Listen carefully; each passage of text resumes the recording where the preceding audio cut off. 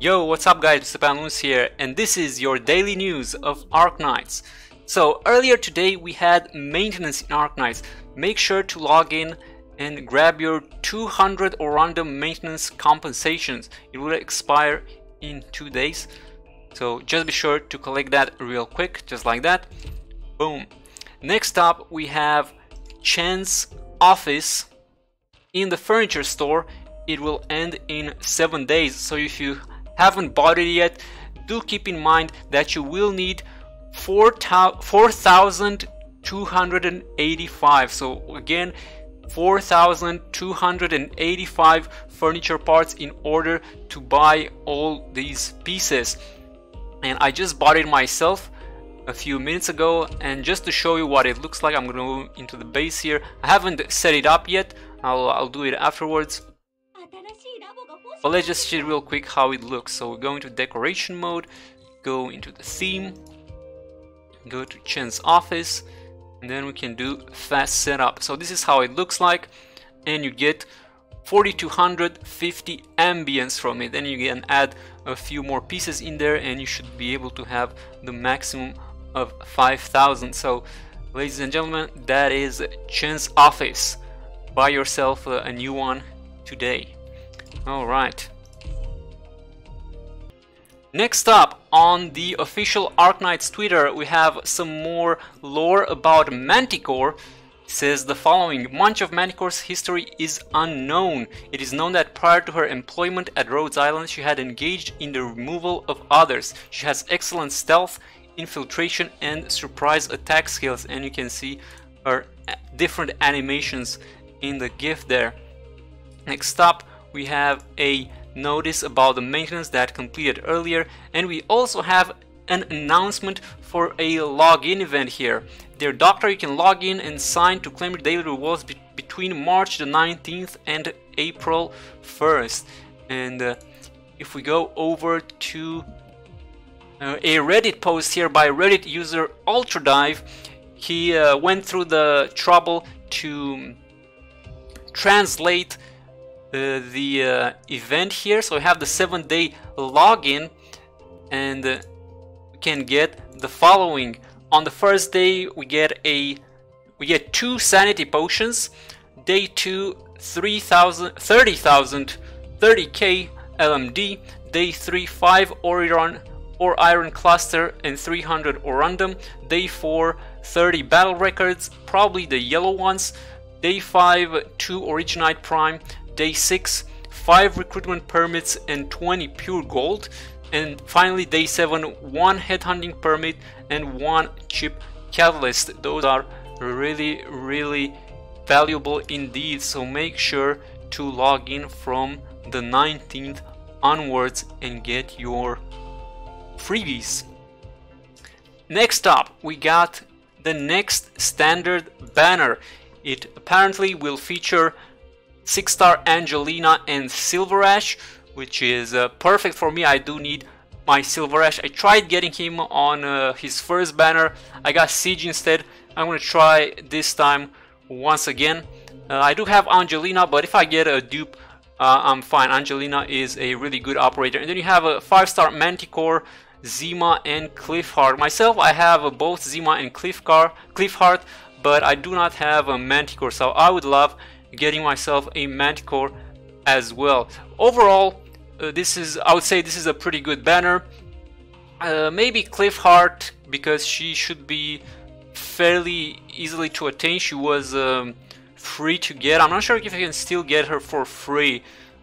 I, I, I don't uh, remember if she was from the pre-registration or not, but a lot of people already have her, so uh, they might not want her. And uh, yeah, uh, the others are really good and uh, Kusuke-kun here also tells us that uh, exchange will be Angelina and Zima. So for the gold certificate shop, if you're interested in buying, that's gonna be Angelina and Zima. Next up, we got from uh, Reddit user Bakaru the Obsidian Festival Farming Guide. So the Obsidian Festival is going to be the next big event in Arknights. And uh, Mr. Bakaru here, he went through and he did all the math and he's gonna show us here the, the uh, quick guide on what you need to do to complete this event. So you have these levels here, you get tickets, looks like one ticket per two sanity and you need that amount of free tick. Oh, you get the 2280 free tickets. Then you also have uh, other levels that gives you 4 coins per ticket and uh, you get some more free coins there and then you need the coins to do lottery rolls and then you have uh, the red part which is the important part. It says you only need to farm 4330 coins or 2165 sanity over three weeks. So that means you will need to spend 103 sanity per day in order to complete that one. And then you also need uh, those tokens. And in the red there it says you only need to farm 1480 tokens or 740 sanity over three weeks which means 36 sanity per day. So in total you will need to spend 139 sanity in order to get everything you need during the course over of the th over the three weeks. Uh, should you use the remaining sanity on the lottery? Yes but don't overdo it. One roll in the 6th unlimited lottery costs 10 sanity and rewards 28.5 sanity's worth. So that's a 2.85 um, uh, sanity ratio, which is really, really good. You're not gonna find uh, uh, that good of odds anywhere on uh, anywhere on the normal maps.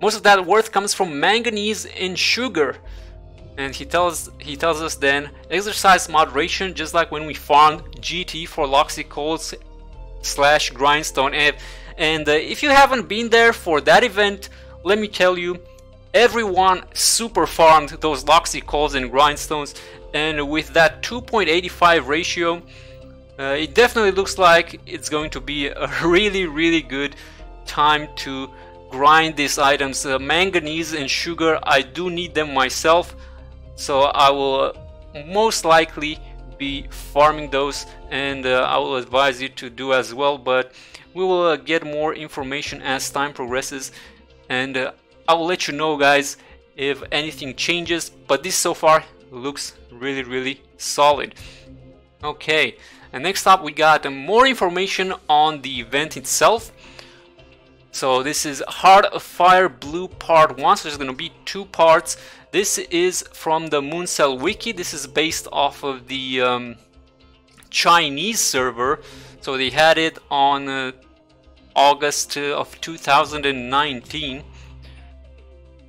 We can see here the rewards for each level. So you're gonna get Originite Prime, you're also gonna get some furnitures. You can see the different tickets and uh, other event items there. We got uh, uh, the coins, more Originite Prime. This is the uh, the lottery right here, so you uh, use your coins on these slot machines here, and then you have different pools, and uh, this is what you can get here. There's a new character as well, Ceylon, that we'll be able to get. Um, she, uh, I, I don't remember right now but I do know that she is pretty good in the base. She has, uh, I think, 80% for elite material, so she's good in the workshop. I don't remember uh, how useful she is as a operator. We'll, uh, we'll check her out some other time. Then we have uh, the part 1 here. Get the rewards here. Then it looks like we have uh, a skin for Ansel then we have more uh, info here on the drops and then there's also a skin for castle and a skin for matterhorn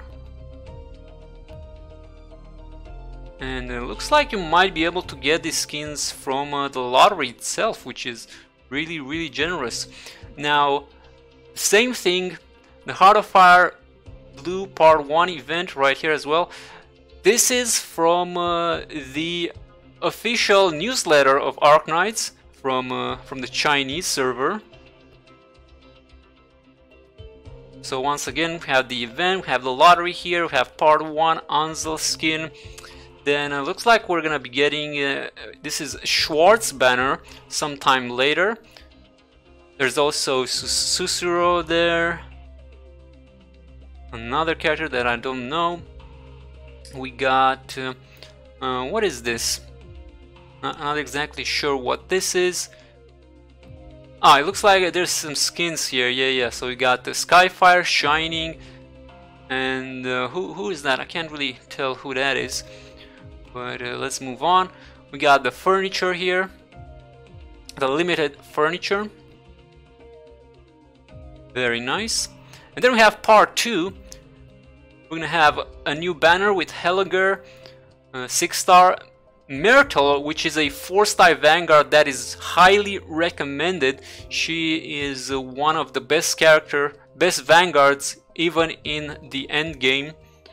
So we will definitely have fun with pulling her. And then we got more skins here, summer skins for Ifrit, Sora and Gumi. Hellagur. Uh, we got the skins here, Matterhorn and Castle and that is it. And finally, we have um, a few helpful guides here, a few helpful posts. One by Reddit user Thern. He did the math we have here. Clue search the actual boost values. So from what he's been told, 4, 5, 6 star operators give an additional 2, 4, 5% and then Elite 1 or 2 gives another 8 and 16%. So if you do the math, the actual speed boost of various operators is the following. So this is something new for me as well. So for instance, I was using 12F and he has 25%. Then Hitano, if you get her to E1, she's gonna have 45, 40%. So it's the uh, 25 plus the 732 and then the 8 from the Elite one goes up to 40. Then Shirayuki, if you have her to E1, she, he is, she has 35. So that would be higher than 12F, which I normally use. So I could use Shirayuki instead of 12F to get it 10% extra However, Shirayuki does have the 30% uh, factory bonus, so you might want to use there might want to use her there instead, but this is good info to know. If you don't use her in the factory, you could use her in the clues instead. Got Courier, Jessica Rope gets 35 at E1, Indra Firewatch, Stina Chen, Saya Angelina 28 at E1, so even she is better than uh, 12F, interesting. And then we have or others as well and the newer characters. Alright.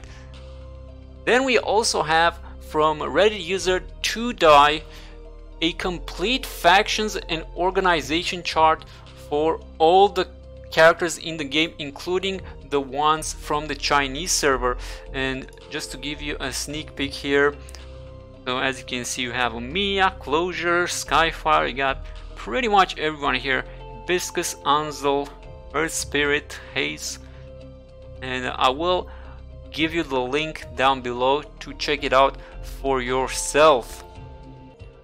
And finally, for the Play Store review of the day, we have Edward Chong with a rating 4 star out of 5. He has the following to say, good game, not pay to win. Played for a few weeks so far and still good. After about two months, I stopped playing. Still think it is a good game, but after a while it gets a bit repetitive, though the gacha is generous. Having high star units are actually not to your advantage because the cost to use them is too high, so you end up focusing on grinding to level mid-level characters for a long time.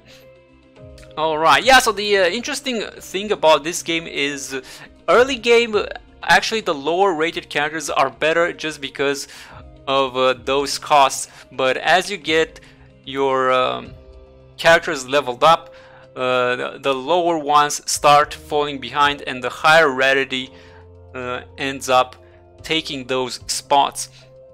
And his complaint was that it got a bit repetitive which is interesting because this game you don't actually have to play it that much. So I feel like it's hard for it to become repetitive since you don't you don't play it that much right so yeah but anyway guys that is it for today. That was your daily news of Arknights.